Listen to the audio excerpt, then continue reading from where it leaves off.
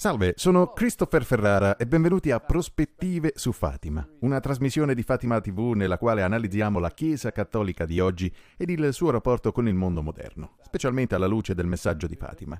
Nella puntata odierna ho invitato per l'occasione il mio amico e collega John Bennari, direttore di Catholic Family News, al quale do il benvenuto. Grazie a te, Chris. Credo che tu voglia toglierti qualche sassolino, per così dire, in questa prospettiva su Fatima. Una puntata alla quale tenevi molto a partecipare, giusto? Beh, sì, decisamente. Come ho detto in un'altra occasione, quando la Chiesa si riunisce in un sinodo per insegnare qualcosa in merito alla famiglia, abbiamo il diritto di aspettarci qualcosa di buono. Davvero? Sì, ne avremo il diritto in teoria, ma purtroppo ultimamente non accade più così spesso. Il prossimo sinodo di ottobre 2015 può essere davvero pericoloso perché sul tavolo vi sono questioni di importanza fondamentale. Nei documenti preparatori al Sinodo hanno rinunciato alla certezza della tradizione cattolica per raggiungere le proprie conclusioni.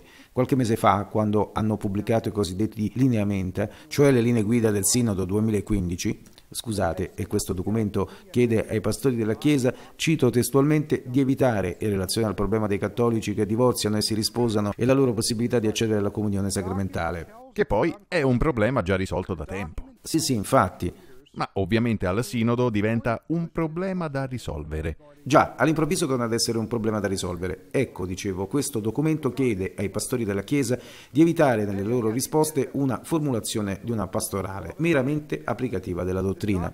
Ah, bene, perfetto. Quindi un'applicazione pastorale che vada oltre la dottrina. Insomma, stanno cercando di ribaltare la dottrina cattolica provando a farla franca attraverso la pastorale.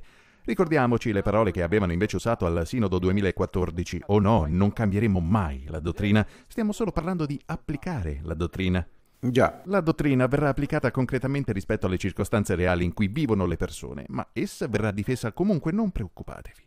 Ecco, hanno provato a mantenere questa linea durante la prima sessione del Sinodo e hanno fallito.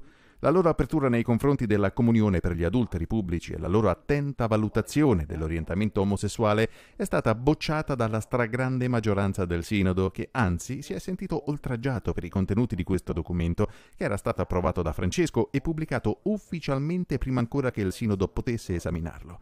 Hanno fallito l'anno scorso e la stampa internazionale disse che a perdere era stato Francesco, una vera sconfitta per Papa Bergoglio, avevano detto. Ma il Papa non ha mollato e con il nuovo Instrumentum Laboris pubblicato qualche mese fa sta praticamente dicendo ai vescovi di non applicare la dottrina.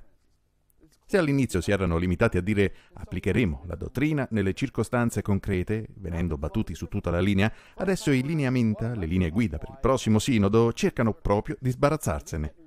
Sì, appunto, tanto a loro che importa della dottrina, per non parlare del libro del cardinale Casper, che ho letto ma che ora non ho con me, nel quale egli affronta la questione dell'adulterio ed arriva a dire, sentite un po', non possiamo risolverla soltanto sulla base delle parole di Gesù. No, infatti, meglio seguire quelli di Casper. Già, Casper appartiene al gruppo dei cosiddetti teologi critici, secondo cui non possiamo davvero sapere se Gesù ha detto una cosa del genere, né se i miracoli sono veri. Non sappiamo se siano stati davvero Matteo, Marco, Luca e Giovanni a scrivere i loro Vangeli. Ovviamente solo spazzatura derivante dal protestantesimo liberale. Ma allora che ci fanno tali parole in bocca ad un cardinale di Santa Romana Chiesa? Quel che dice Casper è semplicemente falso. Dobbiamo seguire le parole di Gesù, né più né meno. Come ho detto prima, alcune persone cercano di sbarazzarsi delle fondamenta dottrinali e soprattutto scritturali della nostra fede. Già. Ma se fai così, che cosa resta? Il movimento della storia, ecco cosa. E a questo proposito vi leggo cosa ha scritto questo importante padre del Sinodo, rimasto anonimo. È rimasto anonimo perché non gli è stato permesso di inserire il proprio nome. È stato fatto tutto in un regime di semisegretezza. Puoi leggere ciò che è stato scritto, ma non sai chi lo ha scritto. Beh, c'è questo cardinale, a quanto sembra, è un cardinale secondo il quale esiste un movimento teologico condiviso da tutti i teologi, un pezzo proprio, aggiungo io, secondo il quale il nulla è statico e l'umanità marcia nella storia, così come la religione cristiana, che sarebbe storia e non ideologia, un'affermazione assurda. Secondo questa persona, il contesto attuale della famiglia è diverso da quello di 30 anni fa, all'epoca della Familiaris Consorzio di Giovanni Paolo II. Oh, è ridicolo. Ma senti ancora che dice, senza la storia non sapremo mai dove stiamo andando e se negassimo questo fatto torniamo indietro di 2000 anni. Addirittura. Ma non avevamo detto 30 anni indietro? Già. Beh, È quasi incommentabile. Stanno cercando di dissezionare il problema della famiglia. I modernisti adorano la parola dissezionare. Sì. Ecco, facciamolo anche noi e proviamo a dissezionare questa loro affermazione, chiarendo per prima cosa che la dottrina non è né storia né ideologia, non è una contraddizione in termini, ma un fatto oggettivo. Esatto è semplicemente verità. Una verità oggettiva. Esatto, la dottrina è verità, è stata rivelata da Dio e ci è stata tramandata dagli Apostoli, ciò che la Chiesa ha sempre definito il deposito della fede. E se arrivasse qualcuno nel corso della storia a contestare tale verità, e sappiamo che la Chiesa durerà per sempre, essa rimarrebbe sempre e comunque verità. Certamente abbiamo a nostra disposizione la verità divina rivelata, e se è pur vero che l'umanità marcia attraverso la storia, lo fa però assieme al deposito della fede, che è immutabile per definizione, Affermare che l'interpretazione della dottrina o persino la dottrina stessa possano cambiare in qualche maniera nel corso della storia è una delle eresie più gravi del modernismo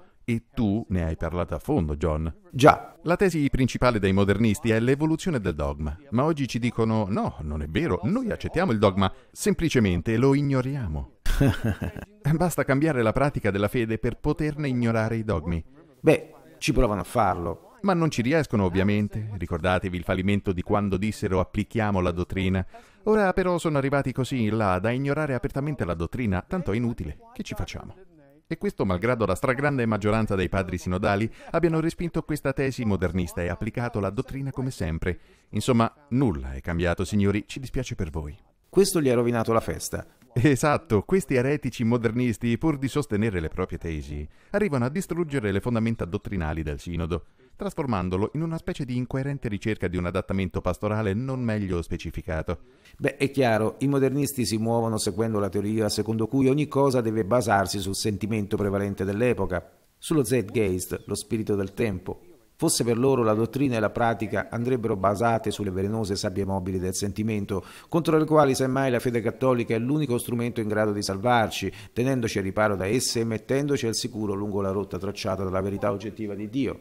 Già, ricordiamoci le parole dell'Antico Testamento sul cuore. Il cuore è ingannevole, può tradirci.